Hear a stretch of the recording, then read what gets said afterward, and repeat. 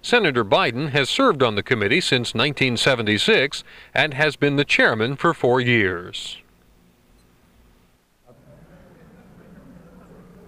Ladies and gentlemen, you've had a long several days. You've had a number of very distinguished speakers, and the seminars in which you have been involved have hopefully been of uh, significance for you in doing your job, those of you who will not be graduating this year, who will be going back to take over the helms of the various law reviews in this nation. And I will say one thing serious before I move on to this. I must tell you, and I don't think I've said this publicly before, but I think it warrants being said before all of you. I truly am uh, embarrassed by the immature way in which I approach law school was such an incredible waste of a valuable opportunity. But I was one of the very lucky people. In that being chairman of the Judiciary Committee, as the Dean and I were discussing, it is not an exaggeration to say I have had an opportunity to go back to law school. And the finest legal minds in America, without the mildest bit of exaggeration, have been and continue to be and are available to me literally on call. The generosity and the legal talent in this nation, when asked to be put to service in any way that would affect the interest of their country, is astounding. I have not had a single person, a single person, from Dean Griswold to professors of significant consequence, less known, like Walter Dellinger, although Walter, I guess, is pretty well known on TV these days, who has not been willing to do everything literally from coming to my house and giving me my own private seminars for literally hours at a time. The benefit of dealing with these judicial nominations, which are the thing that I dislike the most about my job.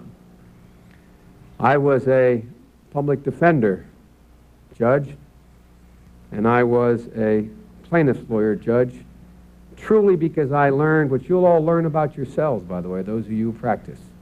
You'll find out how you are constitutionally constructed, what you're most comfortable in doing, the thing that is most compatible with who you are, with your personality.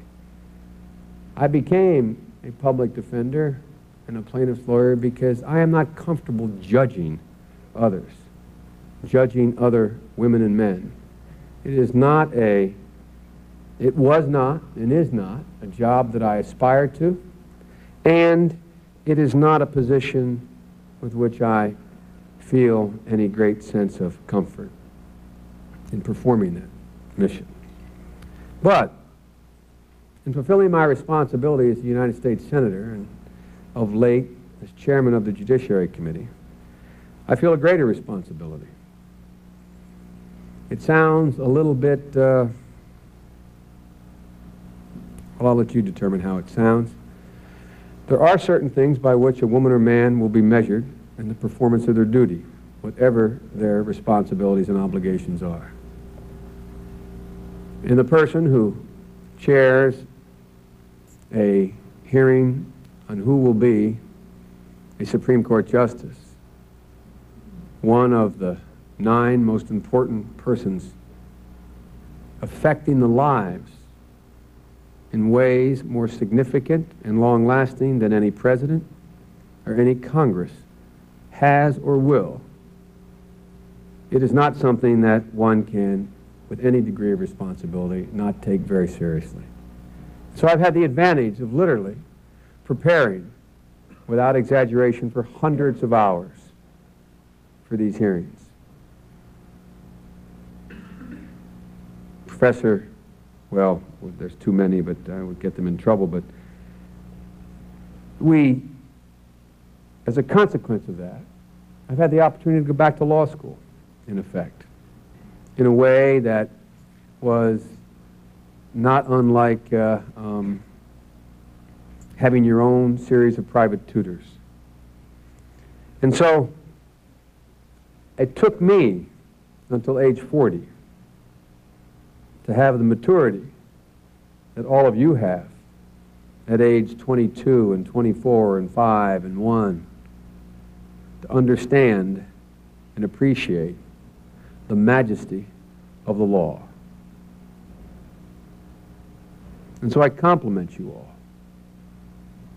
For you are the people who hopefully are not only going to understand the law, but understand the majesty of the law.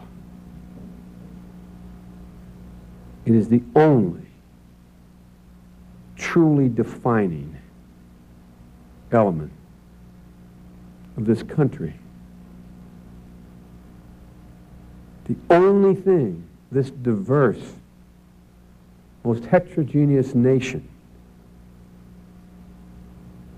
most heterogeneous democracy on the face of this earth has that holds it together is one uniform commitment to seek our own aspirations through and with the help of a body of law embodied in the Constitution that you obviously have understood it is important to understand to be practitioners of our trade. And the role of the Senate in advising and consenting to presidential nominations to the federal courts has been debated periodically and vigorously throughout the history of our nation.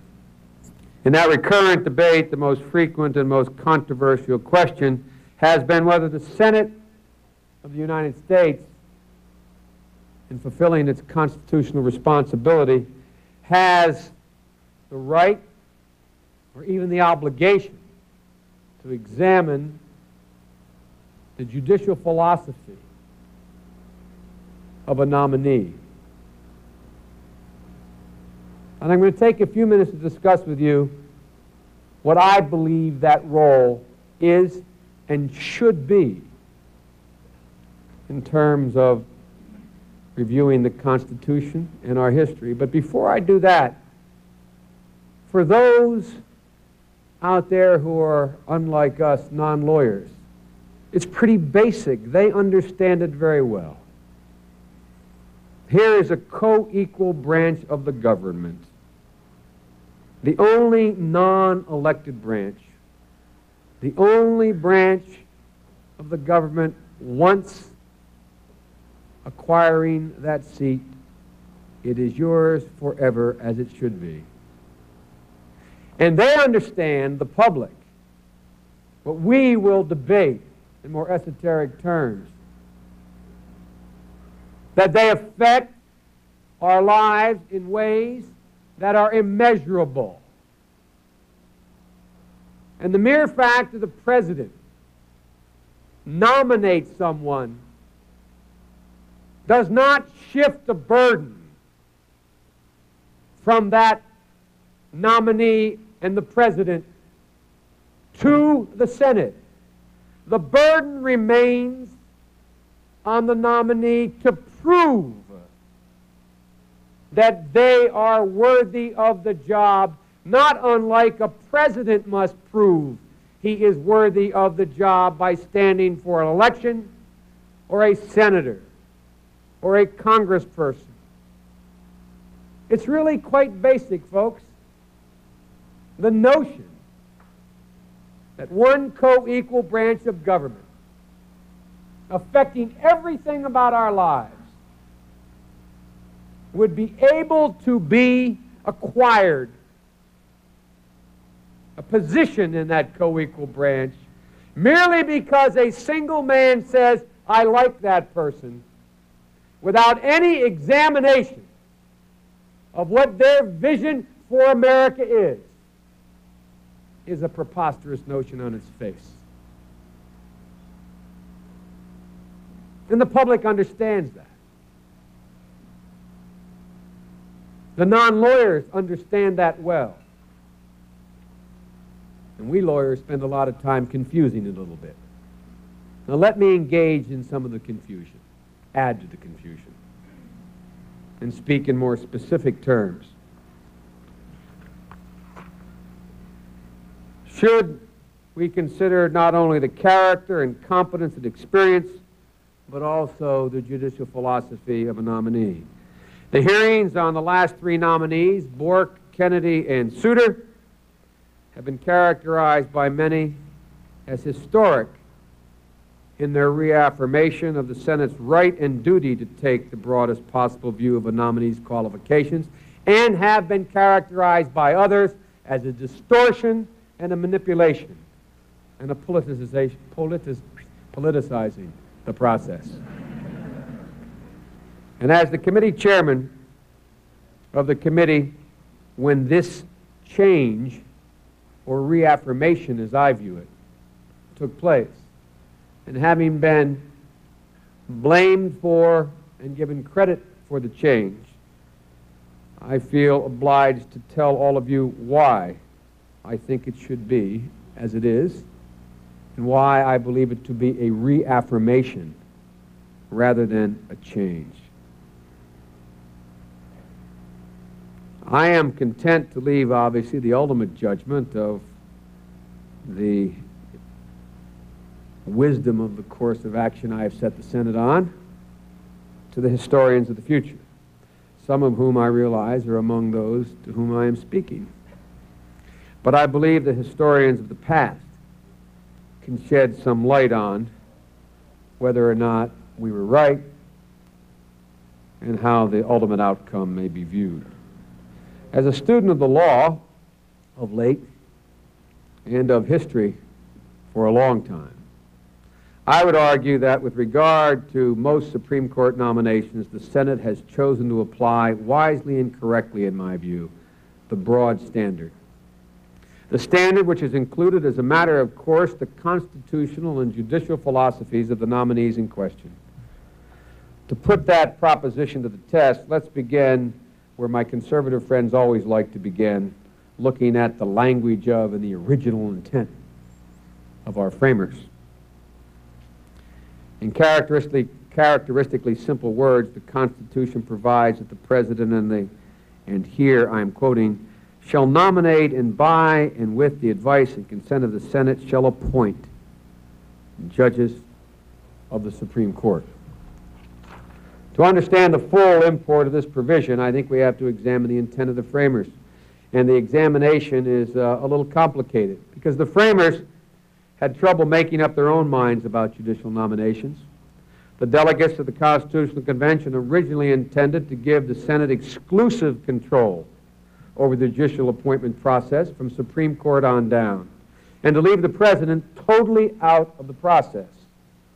Beginning in July of 1787, they rejected on four separate occasions attempts to include the President in the game at all.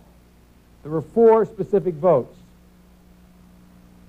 to allow the President to enter into the process in any way, to give the President that responsibility. And they were soundly and roundly rejected. And they did not, in fact, adopt the advice and consent compromise until September, a very hot September, the closing days of the convention. And their intent was clear, in my view. The man who had just won a revolution against tyranny of royal powers had no intention of making the Senate simply a rubber stamp in the hands of a dominant president. The president was accorded the power of making judicial nominations, but those appointments could be concluded only with the co equal consent of the Senate. The advice and consent compromise, as the framers clearly understood, was the best way to assure that the, that the judiciary would remain independent of both the legislative and executive branches of our government. And as events proved uh, before long, the Senate would not at all be reluctant to exercise its responsibility to give and withhold the consent presidential nominees. Even more to the point, the first Supreme Court nominee to be rejected by the Senate was rejected specifically and totally on ideological grounds. When Chief Justice John Jay resigned from the Supreme Court in 1795, President Washington nominated John Rutledge of South Carolina to take his seat. Now, it can hardly be argued that John Rutledge, one of the framers, was unqualified to hold the seat. He was the Chief Justice of the Supreme Court of his state, one of the framers. Hardly be argued that he didn't understand the document he had only recently helped frame.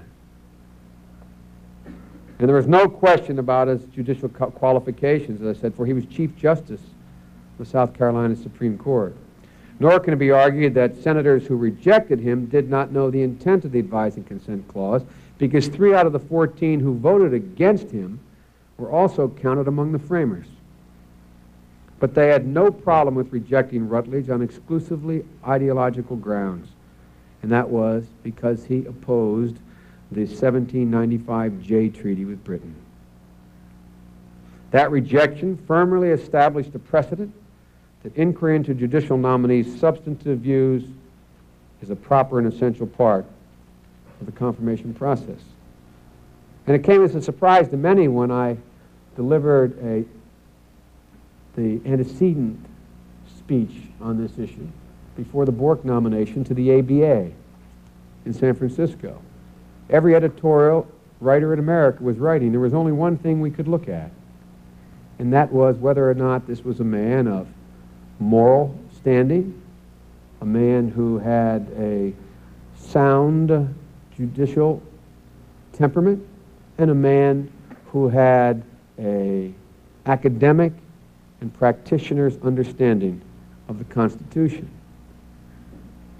Almost every major newspaper in America wrote an editorial to that effect. And went out to speak to the ABA and pointed out to the ABA, in refreshing people's recollections, that more Supreme Court nominees have been rejected than any other single group of nominees in the history of the United States of America.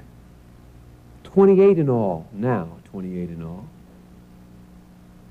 have either been rejected or withdrawn. This was not a new phenomenon, as was being asserted. And almost in every case, they're rejected because of ideology or philosophy. It played a central role. Between the Jackson and Lincoln, Lincoln presidencies, no fewer than 10 out of 18 Supreme Court nominees failed to win confirmation. And debates over the 20th century nominees have been, on the whole, much more civil than they were in the 19th century. For an art, but nonetheless, in our time, four nominees have been rejected. Fortas, Haynsworth, Carswell, and Robert Bork. In the case of Fortas, Haynsworth, and Carswell, although were, there were other issues at stake, the debate, nevertheless, was centered on their constitutional views as well as their professional competency. And those hearings produced at least one footnote of more than passing interest today. Senator Fannin of Arizona quoted from a letter written by a young lawyer from Arizona, now the chief, William Rehnquist. In 1959, Mr. Rehnquist wrote what now I think most people will agree is the proper standard by which the Senate should look at nominees. And he wrote, and I quote, that the Senate should return to its traditional practice, as he described it, of, quote, thoroughly informing itself on the judicial philosophy of the Supreme Court nominee before voting to confirm him. Such a broad consideration of the views and qualifications of judicial nominees was clearly, precisely, the means by which the framers intended to guarantee an independent judiciary.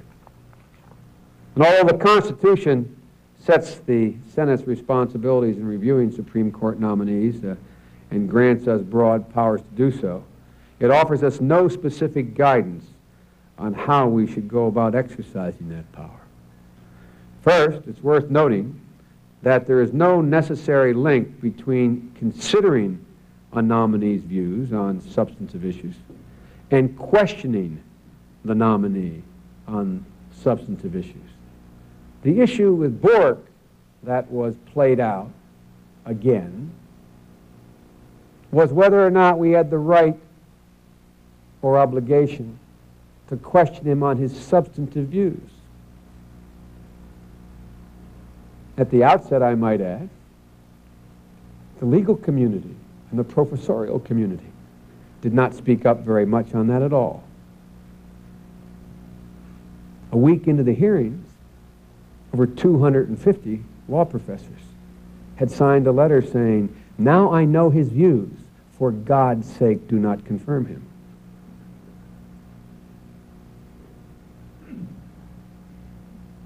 And so, the issue in Souter was different.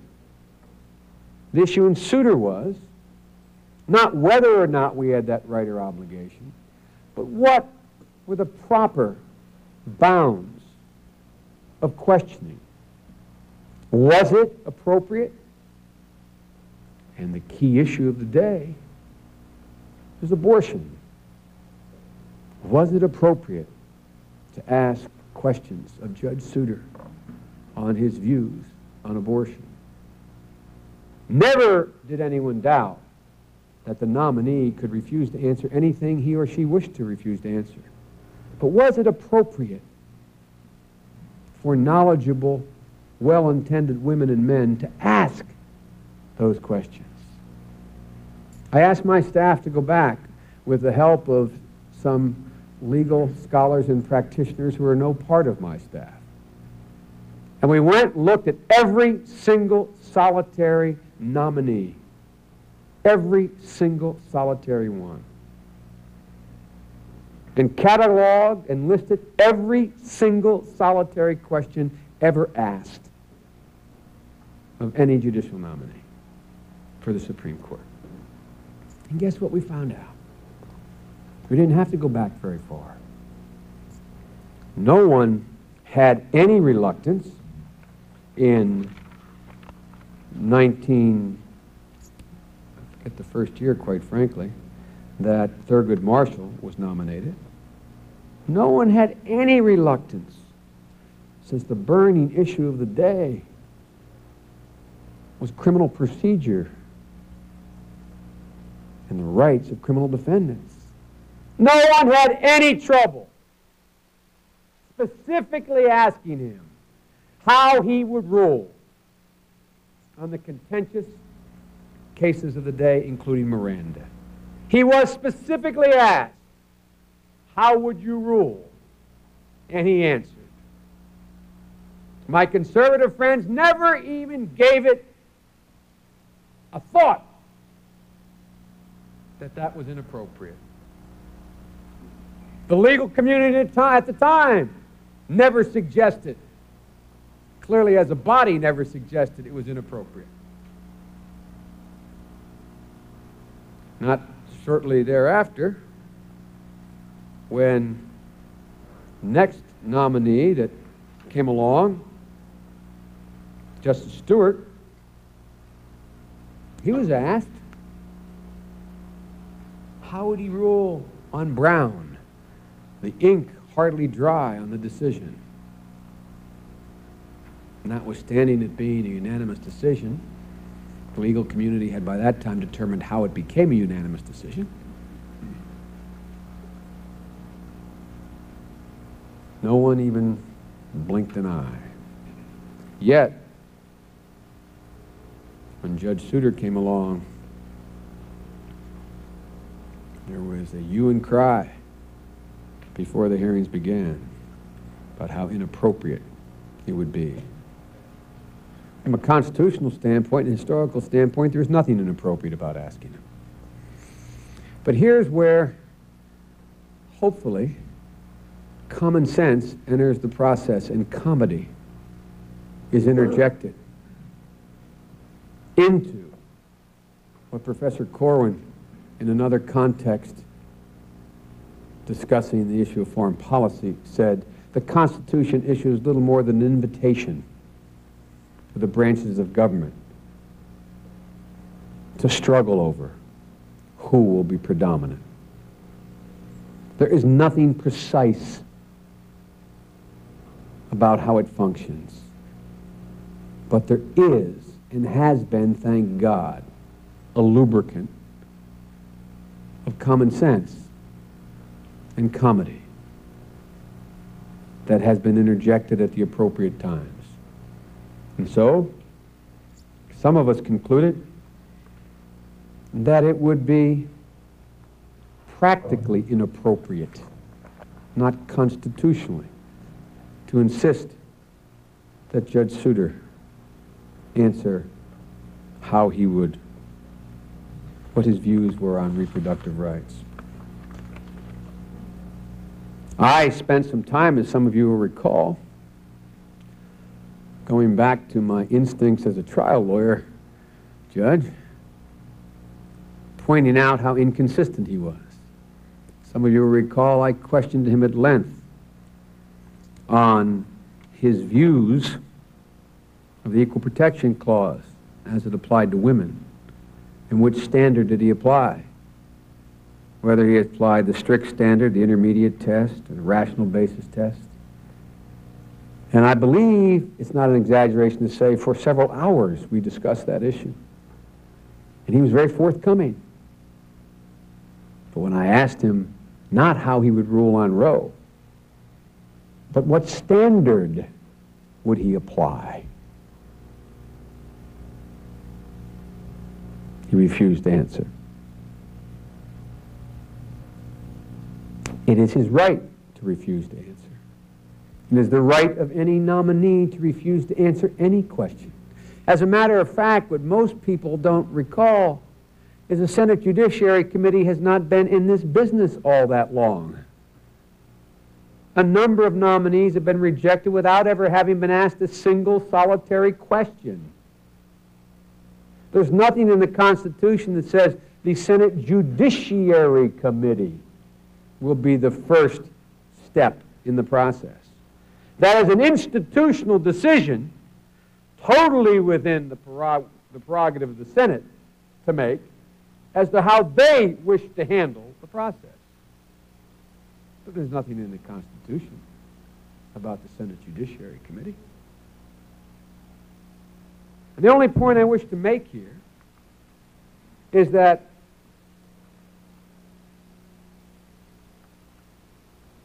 Judge Souter, I think from his perspective and possibly from the perspective of the nation, made the right decision in not answering. For it was clear, no matter which way he answered the question, very nearly 50% of the United States Senate would vote against him. because it's the single most divisive issue in recent American history. Arguably one of the most divisive issues in the history of the Republic. And so he concluded that he would keep his own counsel. But he gave us some significant insights into his views on privacy and how he would measure other great questions of the day. And so, that leads me to the third and last point I wish to make to you. The tempo with which the examination of a Supreme Court justice is undertaken, and this is historically the case, depends on three factors. Assuming they, on their face, possess the competence to be in the court. They have not committed any crimes of moral turpitude.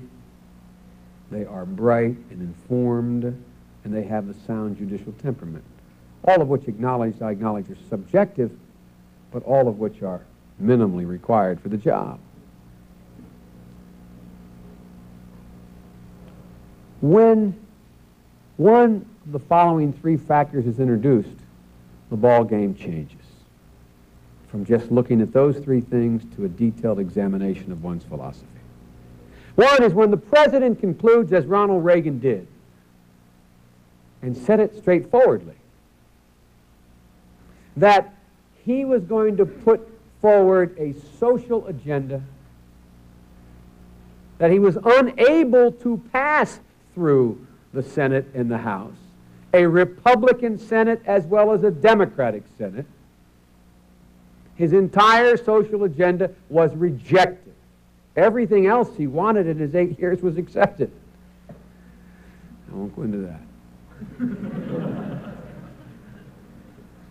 but his entire social agenda was rejected. He made it very clear what he could not accomplish through the legislative branch. He, and it was his right to, there's nothing the Constitution says he could not do it. He was going to attempt to accomplish through the third branch of the government. You notice, when he spoke to any of his nominees, he first spoke to police organizations. They're the people to whom he announced it and said, We want this man because he will be tough on crime and he will do A, B, C, and D. He made it a position in his campaign that he would not support, appoint anybody to the court that did not support a pro life position. It is right, it is his right to do so. But whenever a president of the United States lays down the gauntlet and says, I am exercising my right to remake the court in my image, to remake the court so that it shares a vision for the future of America similar to mine. The Senate has always said, oh, wait a minute. Some of you will recall, you students may not because you were so, and I mean this sincerely, understandably preoccupied with the nature of your responsibility at the moment. Your first year of law school, some of you were. But the professors in here will remember. The president said, as did Attorney General Meese, we will make this a referendum on the Warren Court. Remember that? And remember the foolish young senator who said, I agree. Because I never doubted for a minute that the American public supports and does not have any intention of moving back from the expansion of rights brought about through the Warren Court. There's not a woman in here who wants to see it turned back, not just on choice. Forget choice. Let's assume there will. There will be women in here that wish to do that. Men in here that wish to do that. But I don't know any significant portion of the public that wishes to turn back the clock in terms of the basic civil rights and civil liberties that have been guaranteed under the Warren Court. At any rate, I was prepared to test that thesis. The point I'm making here is not whether or not I was right or wrong, but that what I did was no different than what had been done historically. When the president says we're going to do it my way, and I ran on a platform and believe very strongly the direction he wishes to take the country is inimical to, in, inimical to its interest, I have an obligation to make my case the other way. I don't have an obligation or a responsibility or a right to be able to choose who is on the court. But I do, and every single senator does, have an obligation if he believes the person nominated to the court holds views inimical to the interest of the country to vote against them. And so the president laid down the gauntlet, and the Senate responded. And not only did Judge Bork lose, he lost by the largest plurality of any judge, any nominee ever lost. It wasn't close. The second time when the Senate gets deeply involved in the philosophy, and totally understandable when you think about it, is when the balance of the court is at stake. When the appointment of an additional member to the, a new member to the court will fundamentally alter the direction the court has been going. There's nothing like looking over the precipice to focus one's attention. That's when the president focuses. That's when the Congress focuses. The Senate focuses. And the third time is when a nominee has written, spoken, legislated, taught doctrines and theses that were so out of step with where the majority of the country was that they invite not only scrutiny, but rejection. One of the things that sort of got everybody's attention was when Justice Bork wrote and stood by it, God bless him, because he was intellectually honest. There are two dozen landmark decisions that should be overturned. And then, when asked for his view on stare decisis, he defined it in a way that made it clear, and I think he's probably correct. I won't debate that issue tonight. That there are no constraints upon a sitting justice in the court. And that got people's attention. When the incorporation doctrine, which some of you could argue from a constitutional perspective should not exist, should be turned back. When we should decide that Griswold versus Connecticut was wrongly decided and should be overturned given the opportunity. A Warren Court decision, and I think the vast majority of Americans are not likely to want to change. They may be disagreeing on the privacy question relating to abortion, but on whether or not contraceptives can be used by consenting adults is not something I think is likely to be open to referenda in this country. And that's the third time, the third circumstance you'll find historically where the United States Senate says, hey, wait a minute, we have a keen interest. And that's also the time a president says and should say, I've got a keen interest. Because the decision will affect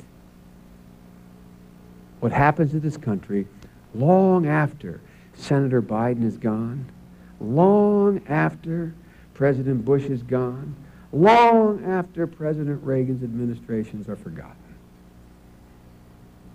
If they live, if Justice Souter, God willing, lives, as long as the average age of the court now, he'll be making landmark decisions in the year 2020. I'll be dead and gone in all probability. And so it's important. Because there's a time lag. Those on the court continue in exercise of their responsibility to affect the lives of Americans well beyond the so-called policymakers' ability to affect it. And so, I would respectfully suggest to you that the issue of whether or not someone's judicial philosophy is appropriately appropriate to be examined and the extent to which someone can be questioned should be is clearly within the realm of the right of any senator but must be seasoned with an understanding of the need for a lubricant to keep the three branches functioning. For a constant confrontation in the appointment process is not a healthy thing for the nation. It is not a good thing for the court, and arguably in its extreme, at least theoretically, could have impact upon the views of nominees and commitments before they arrive on the bench. But I suspect and believe, as long as one of the three circumstances I named, the balance of the court being at stake, the understood views of a nominee being significantly out of step with the social mores of the nation, or the president concluding that he will use the court as a vehicle to realize his political agenda. If any three of those exist, we will only be able to count on and hope for the measured inquiry with fairness of a Senate, which cannot be guaranteed. But I believe thus far has been accomplished. Even more to my present point, I believe the wide-ranging dialogue between the committee and, in the case of Judge Souter, reaffirmed the right and the duty of the Senate to impose a broad inquiry upon the Supreme Court nominee. As I said, I believe the Senate Judiciary Committee's hearings on Bork, Kennedy, and the Souter nominations, in fact, reaffirmed the central role of the Senate in Supreme Court nominations. They reaffirmed our right and our duty to ask searching questions about the nominee's philosophy and then to grant or withhold our consent according to those questions and how they are answered. For the Supreme Court holds far reaching power over the constitutional rights and daily lives of every American. Throughout our history, the impact of the court on what we can do, what we can say, how we can live, has exceeded that of any president or of any Congress. The fact of the matter is that we hold many of the freedoms we enjoy today because of the wisdom and the courage and the foresight of the 105 justices who have sat on the Supreme Court. But there have been moments in our history when the court has come to a crossroads, moments when the court's future has confronted its past, moments when the long term direction of the court is at stake. And today, I believe our nation, our Constitution, as interpreted by the court, is at such a crossroads. Today, great issues are at stake at the court, great precisely because they affect the most intimate decisions of our lives. And the questions that surround those issues have brought us to a fateful moment in our history.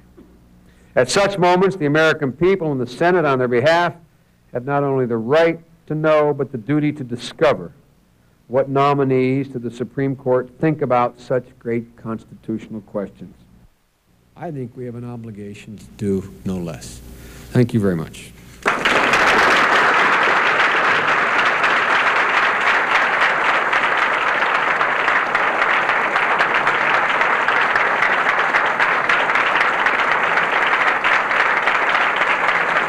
It is.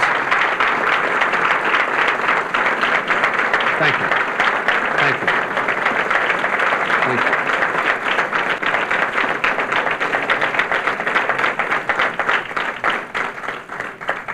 I know it is late, um, and uh, I fully appreciate the fact you've been here a long time and there's a cocktail party to follow. Uh, and I learned early on in my political career never stand between a person and a cocktail party, um, but or a ladies' room or a men's room. Uh, but uh, um, I was asked whether or not I would entertain some questions, uh, and I'd be delighted to do that. And I would fully understand, and I mean this sincerely, if in the process uh, some of you had to leave temporarily or permanently. Uh, and, and I mean that sincerely. Uh, but I'd be happy to take any questions, uh, attempt to answer any questions, not only in this subject, but any subject you'd like to raise. Professor? I certainly want to express my personal opinion for extremely stimulating talk. I wondered if uh, you read the Constitution with regard to advice and consent invoking a role for the public to exercise and consent with regard to the inquiry that you described and the uh, registering of advice and consent with regard to the nominee. I that, that is a really good question because it is the fundamental question. The founding fathers, in my view, Professor, and you understand that, as that old saying goes, you've forgotten more about the Constitution than I'm going to learn. And you understand this well. The founding fathers could find no other vehicle in a representative democracy other than one of the existing branches of government through which their voice could be heard. The only way, and consequently, I would argue by implication, expected that we would reflect not only our own views, but would be reflective of the views of our constituencies. And so I don't think it's at all inappropriate for the public.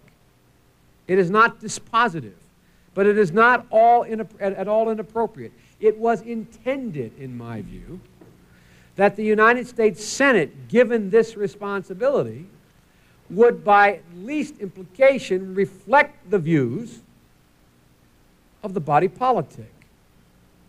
The new phenomenon has been that in the Bork nomination, I would get on the train going back to my home state of Delaware, which I commute every day, and I'd get on the train, and people, I am not exaggerating, would be arguing. The conductors would be discussing and arguing whether or not strict scrutiny was an appropriate standard. you think I'm kidding? I am not kidding. People understood it, it was brought home to them. For example, in the, in the uh, Michael K decision, one of the things people say, Michael K., footnote 6, what does all that mean? People understand what it means. They understood after the Souter hearing was over that Michael K. meant if you agreed with Justice, Justice Scalia's methodology for determining whether or not an unenumerated right existed, you would end up with results that were significantly different than many Americans were prepared to live with. For example, Loving versus Virginia, using the methodology suggested by Justice Scalia, which says that you must go back and look at the historical precedent in determining whether or not a right was intended to be protected, acknowledged, constitutionally guaranteed. You must look at the specific application of the right being sought. So you look at anti miscegenation laws. The historical tradition of the United States is we have not intended for black folks and white folks to marry. A significant portion of states said, hey, you cannot marry. Applying the methodology suggested in footnote 6, as pointed out by Justice Brennan and others, I might add, including Kennedy, would have required a different conclusion in Loving versus Virginia, the anti miscegenation case. Because we have no tradition of protecting the specific right of blacks to marry whites. But the way in which the court of the last three decades has applied what methodology they have applied is much broader.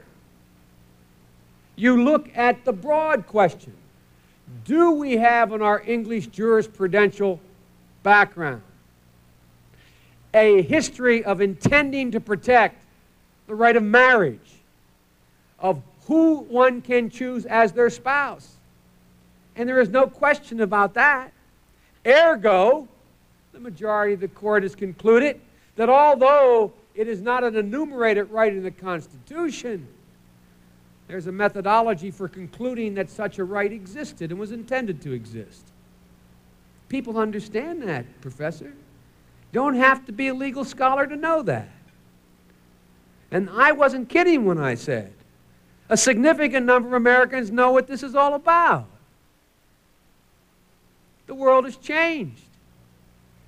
People don't want anybody telling them what they can do in their bedroom or not in their bedroom. They don't want anybody telling them what they can do in or out of their bedroom with regard to the choice of partners, question of procreation. We're beyond that. And we don't even have to look to the penumbra to conclude it. So, as esoteric as footnote 6 is in the Michael K case. And to give you an example, you know what that case was about? It was about a person, a man, who fathered a child with a woman who was married to someone else. And a majority of the court, concurring with Scalia's point of view, said, hey, we have never protected the rights historically of adulterous or of, of, the, of the fathers of illegitimate children. Therefore, that father has no right of visitation, notwithstanding the fact that the genealogical makeup of that child is of that father.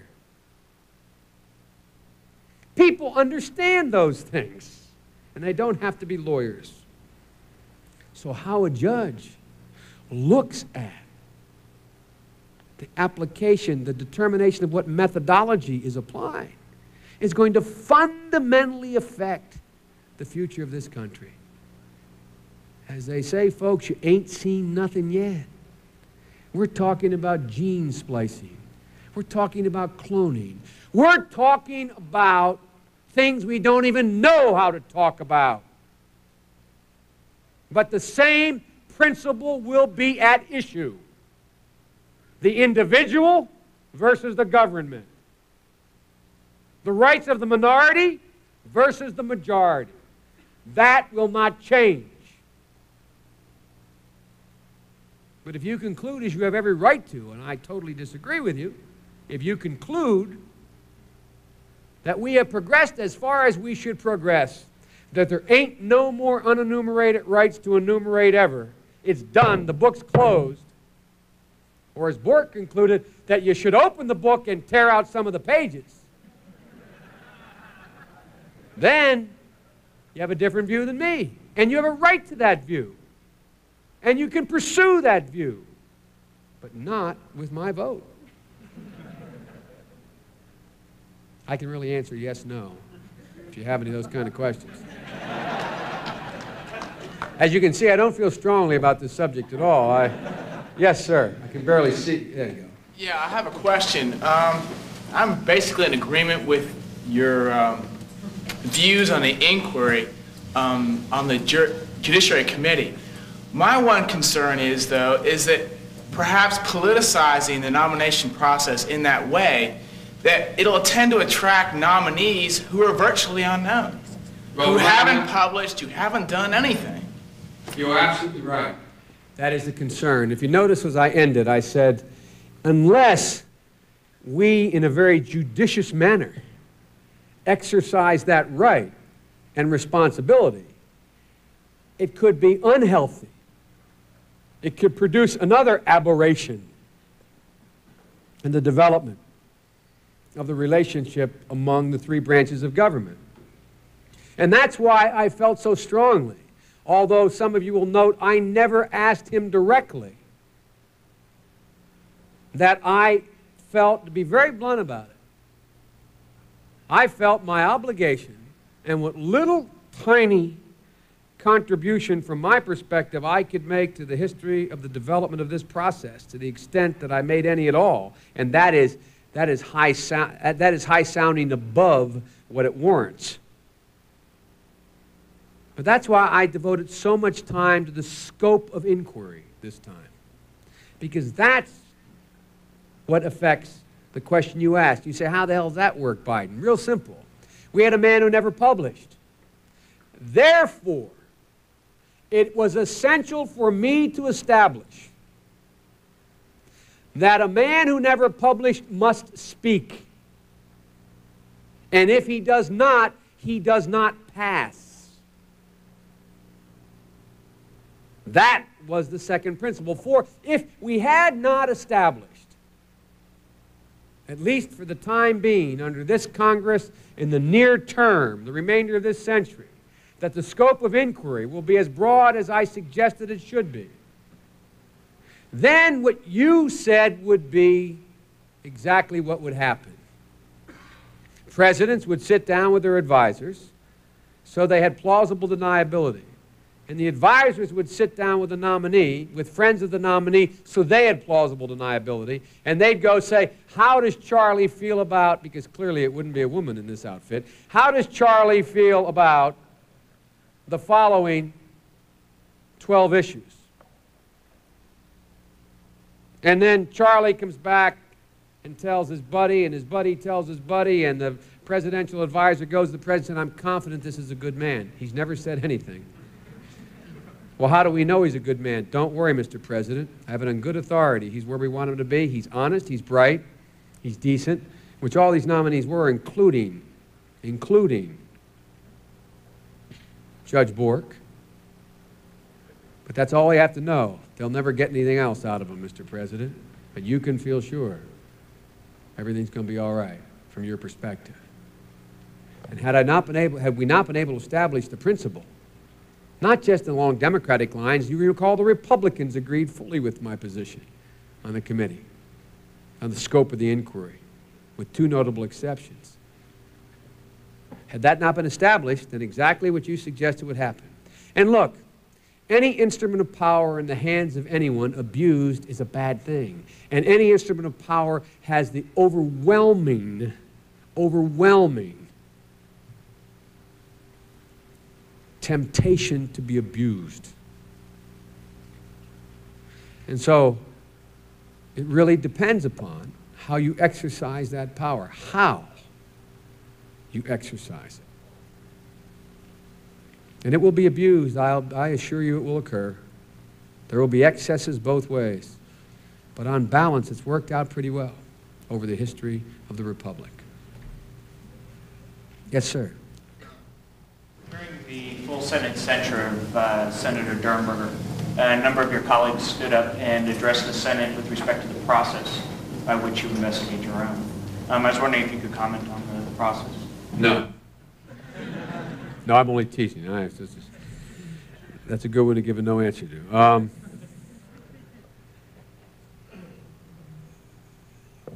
let me marshal my thoughts so I can make the answer short. One, none of us got elected in our minds to go and be judges. None of us wanted any part of that. So it is a responsibility that is avoided like the plague, having nothing to do with the clubbiness of the institution. The men who sat on the ethics committee consumed the better part of two years of their life, literally thousands of hours of their time. And that's not an exaggeration. And none of them wanted to do that. They came to the Senate because they believed strongly in arms control or against it, or they wanted to do this or that. None of it having to do with that, those issues. Second point everyone understands there's no other mechanism without yielding the independence of a single branch of government to an abuse by another branch of government. It cannot be done similar problem that judges have with regard to judicial disciplinary actions, self imposed. Thirdly, the process has never been as fully exhausted, literally and figuratively, as it has with Senator Durenberger and the so-called Keating Five. And the Senate has learned a lot. We have learned, number one, that it is not a very good system. It's not very good for the defendant, in effect, and it's not very good for the public. The irony is, the public knows more detail about how campaigns are run, financed. There is more openness than ever before, and there is less confidence than ever before, which I argue should tell us something about why we should have public financing, but that's another question. We've also found out that all you have to do in today's age is raise the question. I need not tell the prosecutor that. Prosecutors are the most dangerous people in the world. I mean that literally. Literally. Because whether they're right or wrong, anyone who has public standing in a community can and is likely to be ruined just by an inquiry. Period. Forget innocent until proven guilty.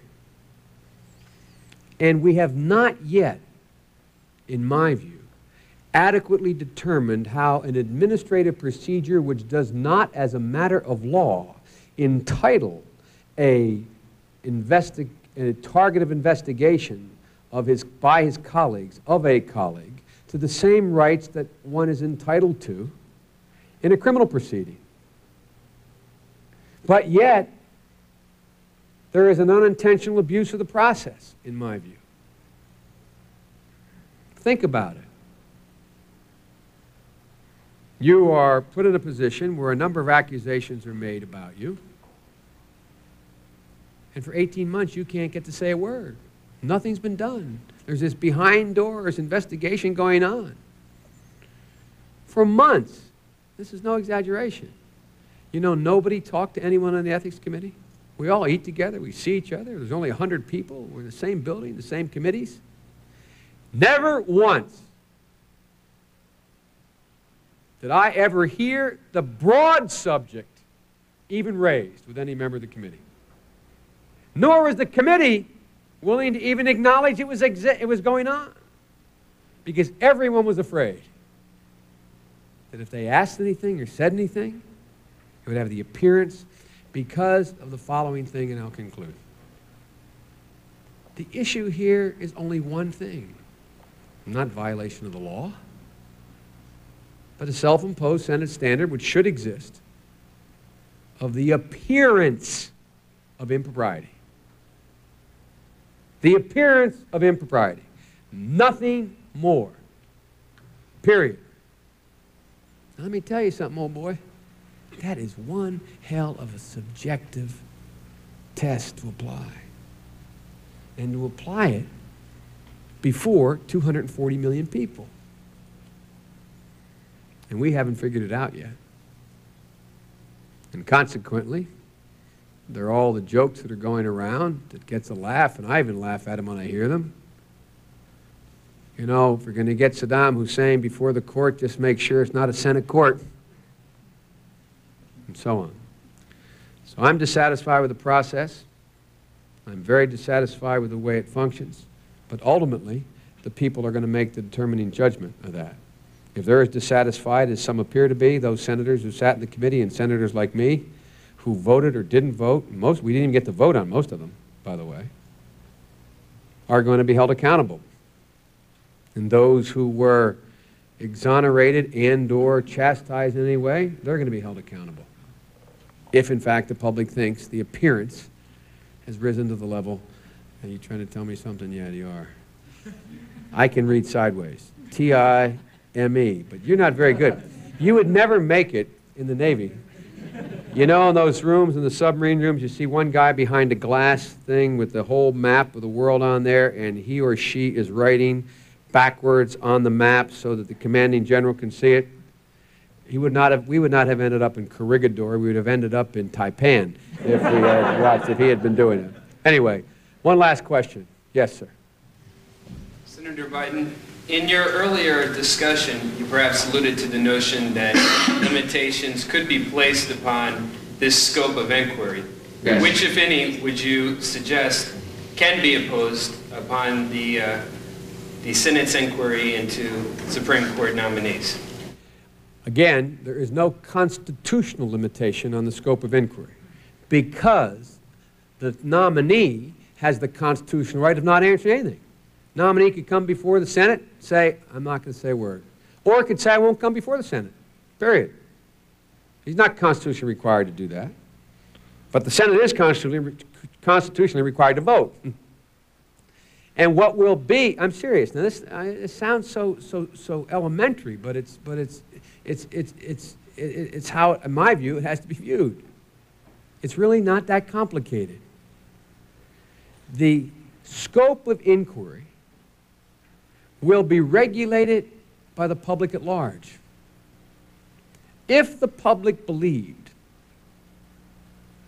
that I conducted the hearing unfairly, when I stood for election last time, this last November, instead of an overwhelmingly large number of people who were polled in my state and around the country thinking that Biden was a fair chairman, if they concluded that I was not a fair chairperson, I would be gone. Or I would not have won by the largest margin anyone ever has in the history of my state. It would have been different. Literally. That's the ultimate governor on the license that senators will exercise. And hopefully, it will not have to be licensed after the fact, if you will. That we will understand, and the Senate historically over the 200 or some years has, that that license can be abused. But mark my words, when it's abused, when it's abused, the abuser ends up being abused by his constituency, as he should. That's how it works. People don't like people who judge other people. They don't like to watch the judging process. We Americans like the underdog. That's why, if you notice, unlike the, and I will end with this, the Iran Contra hearing, remember you saw those tiers and tiers of podium? And the dais after dais raised up? And Ollie North sitting down there in his uniform? And all these senators and congresspersons arrayed in front of him with their lawyers glaring down at him? Well, I tell you what, I take Ollie North. I want to be Ollie North's counsel on that one. All I want is that picture. I made the Senate tear down that entire apparatus because they wanted me to use that for the hearing. You notice, you have never seen me conduct a hearing where the nominee isn't sitting at the exact same level that I am and doesn't have a chair just as high and big as mine. Because the public is very sensitive to what they believe to be transgressions upon the rights of individuals they are watching. And television is such a personable, a personal medium. And so if they think you've abused your license, then you'll be in trouble. And that's the ultimate governor. That and hopefully a dose of sound judgment, which I'm going to attempt to exercise now by saying goodnight. Thank you very much.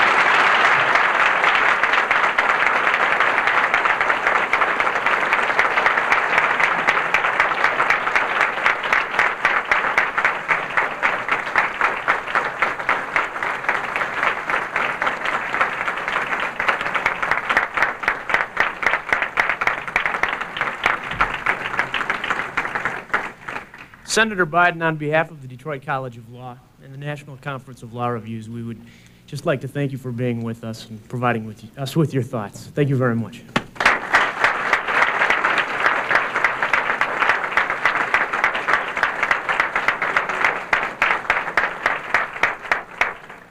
As usual, we have just a couple of uh, housekeeping to, uh, announcements to make to all of the delegates.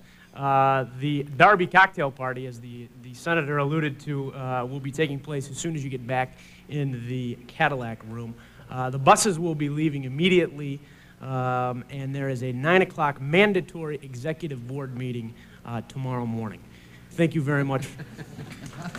Thanks for coming. Next, we turn to an interview with Constance Newman, the director of the Federal Office of Personnel Management. Since President Bush announced the nomination of Judge Thomas to be an Associate Justice on the Supreme Court, Ms. Newman has been working with the White House on the confirmation process. In this interview, we look at the administration's strategy throughout the confirmation process, how the White House works with congressional members and the media and interest groups. Connie Newman, Director of the Office of Personnel Management. Since the President announced the nomination of Judge Clarence Thomas to the Supreme Court,